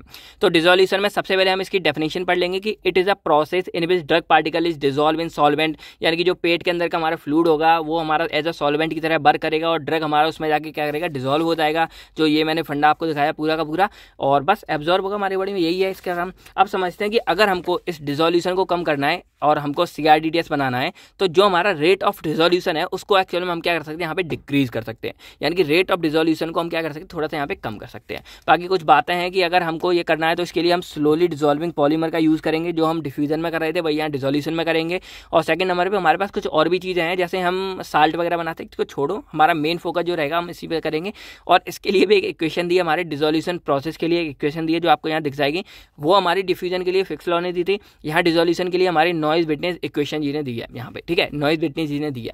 तो ये हमारी होती है D C upon D T is equal to D C D S upon H D C minus C T तो ये हमारा रेट ऑफ़ डिजोल्यूशन है, जिसको हम एक्चुअल में क्या करेंगे? यहाँ पे कम करेंगे। अब अगर इसको कम करना क्या कैसे रहेंगे? तो थिकनेस ऑफ़ लेयर यानी कि सबसे नीचे हमारे क्या H for thickness of layer अगर हमारे जो पॉलीमर है, उसकी थिकनेस बहुत ज़्यादा रहेगी तो भाई ऑटोमेटिक हमारे जो रेट ऑफ़ डिजोल्यूशन है, वो हमारा कम हो जाएगा। फिर यहाँ पे सबसे ऊपर क्या है? डी और डिफ्यूजन कॉफिशियंट है तो ये भाई एक कॉन्स्टेंट होता है। फिर एस हमारा इफ़ेक्टिव सर्फेस एरिया है, कि कितनी जगह पे जाके हमारा वो सर्फेस एरिया कवर कर रहा है। ज़्यादा सर्फेस एरिया मतलब ज़्यादा डिजोल्यूशन होती है ऑटोमेटिक बात है।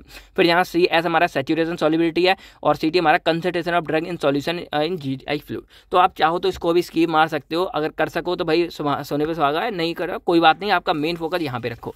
तो डिफ्यूजन की तरह हमारे डिजोल्यूशन भी दो तरह पार्ट्स में है। पहला हमारे इसमें आता है इनकेप्सुलेशन या इसको हम रिजर्वायर डिजोल्यूशन कंट्रोल भी बोलते हैं, जो मैंने आपको बताया रिजर्वायर सेकंड हमारा होता है मैट्रिक्स इरोजन कंट्रोल ठीक है? तो मैट्रिक्स या इरोजन वगैरह भी हम इसको बोल सकते हैं। तो पहले नंबर पर हमारा आता है यहाँ पे इनकेप्सुलेशन डिजोल्यूशन कंट्रोल तो इसको डायरेक्टली आप डायग्राम से समझो कि क्या करते हैं कि मान लो हमने ड्रग लिए और ड्रग को इंडिविजुअल ड्रग को हम क्या करेंगे? इस तरह पॉलीमर से कोटेट कर देते हैं। अब जब ये हमारा पूरा कोट हो जाता है, उसके बाद हम इसको कंप्रेस कर देंगे और इस तरह के पैलेट या फिर हम टैबलेट फॉर्म में इसको पूरा बना देते हैं। अब जब ये पूरा बन जाएगा, उसके बाद क्या करेंगे? हम इसको एक कैप्सूल के अंदर, यानी कि जो पूरा कैप्सूल होता है, उसके अंदर इस तरह से यहाँ पे भर देते हैं। कैप्सूल भी कहीं ना कहीं हमारा एक पॉलीमर का या जेल्टिन वगैरह का ही बना होता है। तो इस तरह से हमारा पूरा ये क्या हो जाता है? इनकेप्सुलेशन डिजोल्यूशन कंट्रोल मेथड इस तरह से हमारा पूरा अप्लाई होता है। अब हम जब इसको बॉडी में देंगे तो भाई और इसी बात है कि पहले हमारे ये कैप्सूल खत्म होगा। उसके बाद एक एक जो हमारा ये है ना एक एक पॉलीमर हमारे यहाँ हतम, हटता जाएगा और हमारा जो ड्रग है वो अंदर से रिलीज़ होता जाएगा। तो ये हमारा सिंपल सा फंडा है जो इनकेप्सुलेशन में कैसे क्या होता है, आप यहाँ समझ गए होगे। एग्ज़ाम्पल मैंने लिख दिया, जैसे पेंटाप्रोजॉल वगैरह हमारी ये बनी होती है। सेकंड इसी के अंदर हमारे क्या आता है मैट्रिक्स कंट्रोल डिजोल्यूशन कंट्रोल वाला पूरा आता है यहाँ फंडा। तो मैट्रिक्स में क्या करेंगे कि this involve the compression of drug with slowly dissolving carrier into tablet यानी कि जिस तरह हम डिफ्यूजन में बना रहे थे, उसी तरह कुछ यहाँ बनाते हैं कि हमारा ये पूरा का पूरा सिस्टम है। यहाँ पॉलीमर वगैरह आप लिख सकते हो, ये पॉलीमर है, ये स्लोली डिजॉल्विंग मैट्रिक्स है और ये ड्रग है। इनको हम कंप्रेस करके आपस में डिजॉल्व करके इस तरह से बनाते हैं। जैसे जैसे हमारे यहाँ पर टाइम बढ़ता जाएगा, ये हमारे ड्रग क्या करेंगे? धीरे धीरे यहाँ से रिलीज़ होते जाएँगे और जो हमारी मैट्रिक्स है, वो हमारी क्या होगी? स्लोली स्लोली डिजॉल्व होती जाएगी। तो ये हमारा सेम फंड है जैसे उसका था, उसी तरह का आपको यहाँ कुछ ज़्यादा चेंज नहीं करनी है। बस यहाँ पे कुछ बातें लिख देना क्या कैसे है, कि इस ये क्या करते हैं कंट्रोल करते हैं पोरोसिटी ऑफ़ टैबलेट की। यानी कि कोई भी टैबलेट वगैरह है, उसके अंदर जो आपको पता है पोरोसिटी को ये कम कर देंगे, दूसरा बैटेबिलिटी को डिक्रीज कर देते हैं। बैटेबिलिटी का मतलब क्या होता है? बैट का मतलब होता है गीला। यानी कि जो ये हमारा ड्रग है, ये मान लो अगर वाटर सॉल्यूबल है तो पानी में जितनी ज़्यादा डिजॉल्व होगा, उतनी जल्दी मतलब जितनी जल्दी मिलेगा, उतनी जल्दी ये डिजॉल्व हो जाएगा। तो उसको ये डिक्रीज कर देते हैं, यानी कि पानी से कॉन्टैक्ट ही बहुत कम, क्योंकि पॉलीमर की कोटिंग हो रखी है। उसके बाद ये क्या करेंगे? मेन फंडा वही है कि स्लोअर रेट से ये क्या करेंगे? ड्रग को रिलीज़ करेंगे। ये ड्रग हमारा बहुत ही स्लो रिलीज़ होगा और हमको लंबे समय तक अपना एक्शन देखने को देगा। उसके बाद इसमें पॉलीमर की बात करें तो इथाइल सेलुलोज हमारा यूज़ हो रहा है, उसके बाद बहुत सारे बैक्सेस वगैरह, इन सब का हम यूज़ करेंगे। तो ये हमारा होगा पूरा डिजोल्यूशन सिस्टम यहाँ पे आपको दिख रहा होगा, और ये भी काफ़ी अच्छा है तो आप यहाँ लिख सकते हो। हो सकता है कई बार की मतलब या तो पाँच नंबर में पूरा का पूरा ही हमारा ये सिस्टम दे दिया जाए मतलब या तो डिफ्यूजन या डिजोल्यूशन या ऐसे कोई सा भी हमारा पाँच में आ सकता है, या फिर पूरा ही हमारा जो है दस नंबर में क्वेश्चन आ जाता है। तो अब हमारे यहाँ पे थर्ड बनता है आयन एक्सचेंज कंट्रोल रिलीज़ के बारे में। तो बेसिकली देखा जाए तो this system is use for control the release of ionizable drug जैसे मैंने आपको बताया कि कई केस में क्या होता है, बहुत सारे हमारे स्टमक या पेट के अंदर ऐसे ड्रग भी जाते हैं जो आयोनाइजेबल होते हैं। आयोनाइज का सिंपल मतलब है कि in the form of ion यानी कि वो आयन की फॉर्म में, जैसे एग्ज़ाम्पल के लिए मान लो एस ले तो या तो वो एच पॉजिटिव होगा या वो सी एल नेगेटिव होगा। तो ये हमारे जो आयन्स की फॉर्म में होते हैं ना कंपाउंड इसी तरह के हमारे कुछ ड्रग्स होते हैं। तो वो ड्रग हमारे क्या है आयोनाइजेबल फॉर्म में है तो उन्हीं की यहाँ पे बात होगी आयन एक्सचेंज कंट्रोल रिलीज़ में कि ये हमारा बेसिकली उन्हीं वाले ड्रग के लिए यहाँ पे होता है। सिंपल सी बात है। अब ये हमारे बेसिकली काम क्या करता है कि इसको हम क्या करेंगे, जो हमारे कुछ आयन एक्सचेंज रेजन होते हैं रेजन हमारे कुछ कंपाउंड होते हैं आयन एक्सचेंज वाले, ये क्या करेंगे, ये उन आयोनाइजेबल ड्रग के साथ मिलेंगे, उसका पूरा का पूरा कॉम्प्लेक्स बनाएँगे, उसके बाद ये हमारी बॉडी में जाएँगे और स्लोली जब इनका टाइम होगा, तब ये रेजन क्या करेंगे, उस ड्रग को रिलीज़ करेंगे। यानी कि एक तरह से जो ड्रग है ना, इस ड्रग को इन्होंने अपने अंदर कैदी बना के रख लिया, अपने साथ इसको बाइंड करके रख लिया। और जैसे ही इन्होंने ड्रग को, जैसे यहाँ पे जो अब तक हम पढ़ रहे थे डिजोल्यूशन डिफ्यूजन में क्या हो रहा था कि जो हमारा ड्रग है, उसको एक पॉलीमर अपने अंदर कब्जे में ले रहा था और पॉलीमर जैसे जैसे रिलीज़ हो रहा था ड्रग ऑटोमेटिक रिलीज़ हो रहा है। उसी तरह जो हमारा ये वाला केस है, इस ड्रग को क्या करेगा? रेजन अपने कंट्रोल में ले लेगा और उसके बाद स्लोली इसको रिलीज़ करेगा। तो रेजन का हमारा एग्ज़ाम्पल यहाँ पे है सोडियम पॉली सल्फोनेट अब जो हमारे रेजन है यहाँ पे आयन एक्सचेंज वाला कंट्रोल ये हमारे बेसिकली दो टाइप्स के होते हैं। पहला हमारा कैटानिक ड्रग के लिए होगा, दूसरा हमारा एनाइनिक ड्रग के लिए होगा। अब जो कैटानिक ड्रग के लिए हमारा पूरा आएगा, इसमें उन रेजन का यूज़ करेंगे, जिन रेजन के पास क्या होगा एसओ थ्री नेगेटिव ग्रुप होगा। तो आप सिंपल एग्ज़ाम्पल समझ लो, मान लो ये हमारी रेजन है। अब इस रेजन के साथ हमारा एसओ थ्री ग्रुप है तो ये पूरा हमारा क्या हो गया कंपाउंड हो गया। अब ये कंपाउंड ने क्या किया, देखो यहाँ पर ड्रग को क्या कर लिया, अपने साथ पूरा का पूरा इंट्रैप कर रखा है, और साथ में हमारा एच पॉजिटिव है। तो अब क्या होगा, भाई ये सॉरी रिवर्सेबल होती है कि अब क्या होगा, जैसे ही हमारा टाइम हो जाएगा सफिशियंट टाइम हो जाएगा।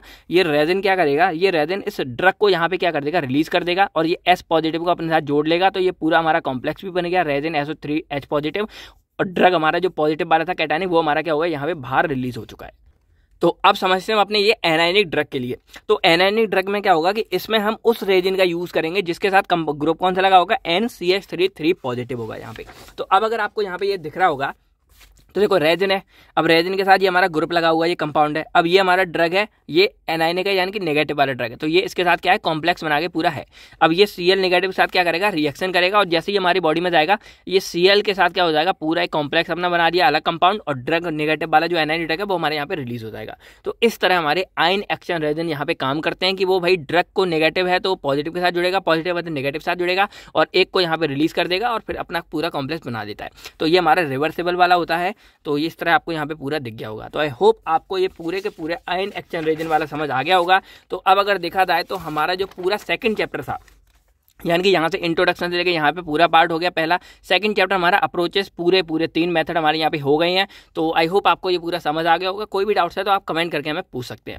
अब हम समझते हैं अपने थर्ड चैप्टर जिसका नाम है physio chemical and biological properties of drug relevant to control release formulation मतलब अगर मैं इस पूरे लंबे चौड़े टाइटल का अगर आपको देसी मतलब सिंपल बताऊँ तो ये है कि सीआरडीडीएस के अंदर जो हमको ड्रग्स चाहिए होते हैं बनाने के लिए, उन ड्रग्स की क्या क्या प्रॉपर्टीज़ होनी चाहिए, बस हमको वो प्रॉपर्टीज़ आपको बतानी है। तो प्रॉपर्टीज़ हमारी दो तरह की हो सकती हैं, एक हमारी होती है फिजियोकेमिकल और एक हमारी होती है बायोलॉजिकल प्रॉपर्टीज़ तो फिजिको केमिकल प्रॉपर्टीज़ में सिंपल हम उन पैरामीटर या उन फैक्टर की बात करते हैं, जो फैक्टर हमारे ड्रग से रिलेटेड होते हैं और ड्रग की फ़िज़िकल और केमिकल प्रॉपर्टीज़ के बारे में होते हैं।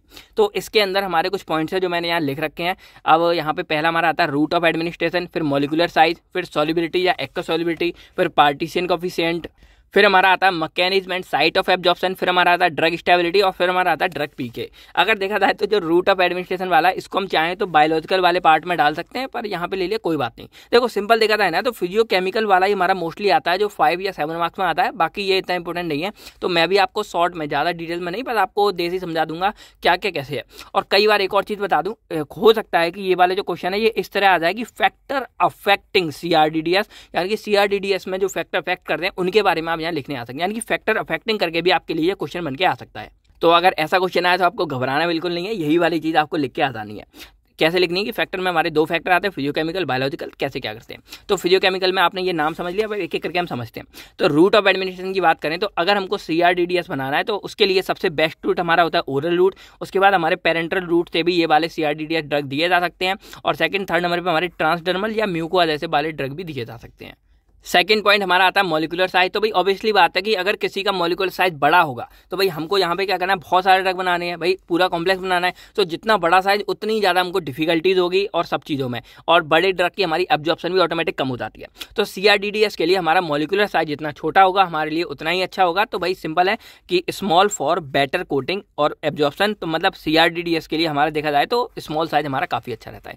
थर्ड हमारी प्रॉपर्टी इसमें आती है एक्वस सॉलिबिलिटी तो इसमें सिंपल सा फंडा है कि कोई भी ड्रग पार्टिकल है, उसकी अगर सॉलिबिलिटी ही अच्छी नहीं होगी तो भाई हम कैसे सीआरडीडीएस बनाएँगे? तो सिंपल सा बात है कि हमको क्या चाहिए? सॉलिबिलिटी अच्छी होनी चाहिए और एक्वस का मतलब है वाटर की सॉलिबिलिटी तो वो भी हमारी काफ़ी अच्छी होनी चाहिए। लेकिन एक केस हमको और याद रखना है कि वाटर की सॉलिबिलिटी हमारी बहुत ज़्यादा हाई नहीं होनी चाहिए, क्योंकि अगर हाई सॉलिबिलिटी होगी तो उसका डिजोल्यूशन रेट हमारा काफ़ी हाई हो जाएगा। जो मैंने यहाँ बताया कि डिजोल्यूशन में पानी वगैरह अगर सॉलिबिलिटी ज़्यादा होगी तो कम पानी में भी हमारा ड्रग काफ़ी ज़्यादा डिजोल्व हो जाएगा तो इससे हमारा जो टाइम है वो हमारा कम हो सकता है।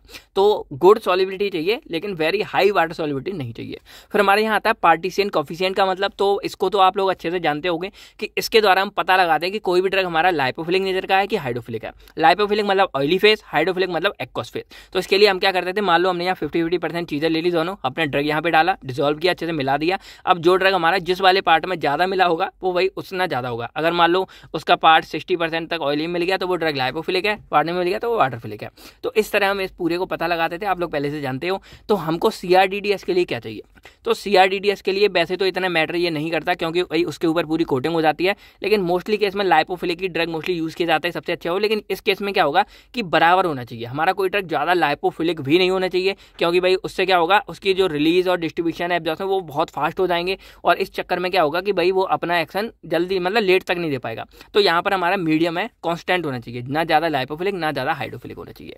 फिर यहाँ फिफ्थ आता है mechanism and site of absorption तो वैसे तो नॉर्मली सभी के लिए हम सी बना सकते हैं, लेकिन कुछ हमारे ऐसे ड्रग होते हैं स्पेशल वाले, जो कैरियर मीडिएटेड होता है। आपने देखा होगा, मान लो ये हमारी पूरी की पूरी पूरी मतलब लेयर है परमी सॉरी हमारी पूरी क्या है, मान लो सेल की पूरी लेयर है, जिसके द्वारा हमारा ड्रग निकल के जाता है। तो बहुत सारे हमारे इसमें मेथड मैकेनिक थे, जो हमने पहले पढ़े थे अपने पिछले समय अब मान लो कुछ कुछ ऐसे ड्रग थे, जो किसी कैरियर मीडिएट के द्वारा जाते थे। तो भाई, उसको अगर हम पूरा इस तरह से पॉलीमर में पूरा कवरअप करके दे देंगे तो वो कैसे पार करेगा? तो इसके लिए ये बिल्कुल सीटेबल नहीं है। अगर कोई ड्रग हमारा कैरियर मीडिएट वाला है तो उसको हम सी नहीं बना सकते। जैसे विटामिन बी वगैरह वाले हो गए। फिर ड्रग स्टेबिलिटी की बात करें तो भाई ऑब्वियसली बात है कि जिसकी ड्रग स्टेबिलिटी अच्छी होगी, यानी कि जो हमारा जो जैसे आपको पता है डिजोल्यूशन यहाँ होता है तो अगर हमारा ड्रग यहाँ पे स्टेबल रहा, अगर वो हमारे इस एसिड जो स्टमक का एसिड है, उसमें खराब ना हो तो वो उतना अच्छा हमारा सी बन सकता है। तो इसीलिए ड्रग स्टेबिलिटी हमको गुड़ चाहिए, और जिनकी ड्रग स्टेबिलिटी में कोई प्रॉब्लम है, कम है, वो तो हमारे लिए पुअर कैंडिडेट है, उनको हम सी में नहीं ले सकते। फिर हमारी यहाँ बात आती है ड्रग पी के बारे में तो ये एक तरह से हमारा आयोनाइजेशन होता है तो आपको पता है कि आयोनिक और नॉन आयोनिक में मोस्टली ड्रग हमको अन आयोनाइज यानी कि नॉन आयोनिक वाला ही चाहिए, क्योंकि वो हमारे क्या होते हैं गुड एब्जॉर्प्शन होती है, उनकी सारा कुछ होते हैं। आयोनिक वाले भी चल जाते हैं, लेकिन इतने नहीं चलेंगे। तो अगर हमको भाई सी बनाना ही, हमको ड्रग सिलेक्ट ही करना है तो हम अन आयोनाइज वाले ड्रग मोस्टली क्या करेंगे सिलेक्ट करेंगे। तो ये हमारे चार पाँच थे, कैसे क्या होगी, बस आपको ना ओरली याद रखना है। अगर आपको क्या करना है, ये एक साथ आपने लिखे अब इसमें आप सिंपल याद कर लो। इसमें क्या है ओरल पेरेंटल और साथ में transdermal mucosal molecular size small होना चाहिए सॉलिबिलिटी हमारी गुड होनी चाहिए। पार्टीशन कॉफिशियंट हमारा बराबर होना चाहिए, करीब मैकेनिज्म साइड कैरियर मीडिएटर वाले नहीं चलेंगे, ड्रग स्टेबिलिटी हमारी अच्छी होनी चाहिए और इसमें हमारे अनआयोनाइड होने चाहिए। तो इस तरह आप याद करो और बाकी आप बना बना के लिख के आओ, इसी तरह आप ज़्यादा चीज़ों को याद कर सकते हो। अब अगर बायोलॉजिकल पैरामीटर्स की प्रॉपर्टीज़ की बात करें या पैरामीटर तो ये हमारे बॉडी से जो कनेक्टेड होते हैं, उनकी यहाँ पे बात हो रही होती है। तो अब यहाँ पर देखा जाए तो पहले नंबर पर हमारा एब्जॉर्प्शन है, फिर डिस्ट्रीब्यूशन है प्रोटीन वाइंडिंग है एलिमिनेशन है मेटाबॉलिज्म है थेरेपेटिक इंडेक्स है बायोलॉजिकल हाफ़ लाइफ है। तो ये सारी की सारी बात है, इसी में मैं डायरेक्ट समझा देता हूँ। तो एब्जॉर्प्शन हमारा क्या होना चाहिए? अच्छा होना चाहिए, क्योंकि जितना अच्छा हमारा एब्जॉर्प्शन होगा, वो ड्रग हमारा उतने अच्छे से बॉडी में जाकर अपना एक्शन शो करेगा, और अच्छे वाले एब्जॉर्प्शन वाले ड्रग को ही हम सी बनाएँगे तो वो अपना एक्शन शो करेगा। डिस्ट्रीब्यूशन भी हमारी अच्छी होनी चाहिए कि भाई अगर डिस्ट्रीब्यूशन हमारी अच्छी होगी तो ऑब्वियसली बात है ड्रग हमारा अच्छे से सब जगह जाके और अपना एक्शन शो कर पाएगा। प्रोटीन बाइंडिंग हमारी लगभग बराबर होनी चाहिए, क्योंकि अगर, वैसे तो कमी होनी चाहिए, क्योंकि अगर मान लो किसी ड्रग की प्रोटीन बाइंडिंग बहुत ज़्यादा है तो क्या होगा ड्रग हमारा प्रोटीन के साथ बाइंड हो जाएगा और देन वो अपना एक्शन ज़्यादा शो नहीं कर पाएगा, क्योंकि वो प्रोटीन भी एक तरह से कॉम्प्लेक्स ही होता है ना भाई तो कॉम्प्लेक्स बना लेगा तो ड्रग जब किसी को पकड़ के रखोगे तो वो काम कैसे करेगा? मान लो भाई दो लोग हैं तो प्यार तो आपसे बहुत करते हैं, लेकिन भाई उसको काम पे ही नहीं जाने दे रहे ऑफ़िस ही नहीं जाने दे रहे धीरे धीरे रुपये खत्म हो जाएगा और वो प्यार, कब तकरार में सब बदल जाएगा सब बेड़ा गर्क हो जाएगा। इसलिए पढ़ो लिखो और भाई अपना कमाओ वाओ अपने आप बाकी सारे लोग आते रहेंगे आपके पास। ठीक है तो ये चीज़ आप समझ गए प्रोटीन बाइंडिंग हमारी इतनी ज़्यादा नहीं होनी चाहिए। एलिमिनेशन हमारी भाई स्लो होनी चाहिए, क्योंकि हमारा जो मेन तक है कि हमें लंबे समय तक एक्शन चाहिए। सी के लिए तो हमारा जो एलिमिनेशन है वो हमारा स्लो होना चाहिए। तो इसी तरह हमारी हाफ़ लाइफ हमारी थोड़ी सी ज़्यादा होनी चाहिए, क्योंकि भाई अगर हाफ़ लाइफ कम होगी, इसका मतलब क्या है? ड्रग का हाफ़ लाइफ क्या होता है? Half time of elimination of the drug. यानी कि जो ड्रग हमारा आधा जिस टाइम पर पूरा बाहर निकल रहा है, वो होता है। तो एलिमिनेशन अगर हम स्लो चाहते हैं तो भाई हाफ़ लाइफ हमारी थोड़ी सी ज़्यादा हो जाएगी। फिर थेरापिटिक इंडेक्स की बात करें थेरापिटिक इंडेक्स का सिंपल मतलब है सेफ्टी मार्जिन। जो मैंने आपको बताया था कि मान लो ये हमारी रेंज है, कोई हमारा ड्रग इस तरह जा रहा है एमजी में तो मान लो पचास एम के बाद वो ड्रग अपना एक्शन शो करता है, लेकिन ढाई सौ पर होते होते वो क्या करता है? अपना लीथल इफ़ेक्ट यानी कि उसके साइड इफ़ेक्ट होने लगते हैं। तो हमको मिनिमम क्या चाहिए? ऐसी मिनिमम डोज जिससे हमारा एडवर्स इफ़ेक्ट ना हो, और मिनिमम हमको ऐसा ही डोज चाहिए जो हमें अपने एक्शन शो करे। तो इस तरह का हमारा एक पूरा थेरेपेटिक इंडेक्स बनता है, जो आपको फुल फॉर्म भी पता होगी एल डी अपॉन ये वाली पूरी सिस्टम होता है हमारा इसका। तो इसी को हम जो है सेफ्टी ऑफ़ मार्जिन बोलते हैं। तो हमको सेफ्टी ऑफ़ मार्जिन काफ़ी चाहिए। अगर सेफ्टी ऑफ़ मार्जिन जितना हमारा अच्छा होगा ना, उतना अच्छा हमारे पास और ऑप्शन होंगे कि भाई हम क्या कर सकते हैं, अपनी मतलब नई नई चीज़ों को बना सकते हैं सी में। क्योंकि आपको बताया कि अगर थोड़ा सा भी ऊपर नीचे होगा, क्योंकि सी में हमने पॉलीमर भर के दे दिया ट्रक अगर मान लो ज़्यादा पहुँच गया या कम पहुँच गया तो उससे नुकसान काफ़ी ज़्यादा हो सकता है। इसी टॉक्सिटी भी हो सकती है तो इसीलिए हमको सेफ्टी ऑफ़ मार्जिन अच्छे वाले चाहिए, जिनका सेफ्टी ऑफ़ मार्जिन ज़्यादा हो। नैरो सेफ्टी ऑफ़ मार्जिन का तो हम सी बनाएँगे ही नहीं।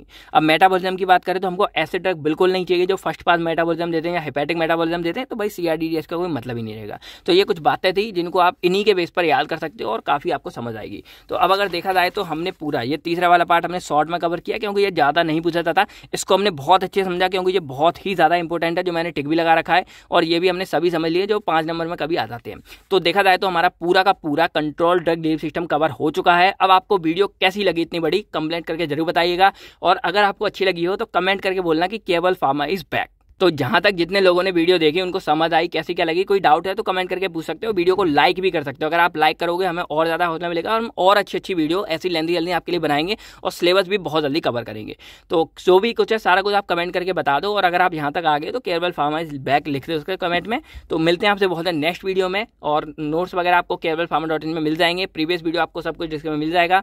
तो बस आज की वीडियो में इतना ही। मिलते हैं हम आपसे बहुत नेक्स्ट वीडियो में। तब तक friend thank you take care and आप सभी लोग अपना और अपनी फैमिलीज़ का ख्याल रखेगा बाय बाय दोस्तों। जय हिंद दोस्तों।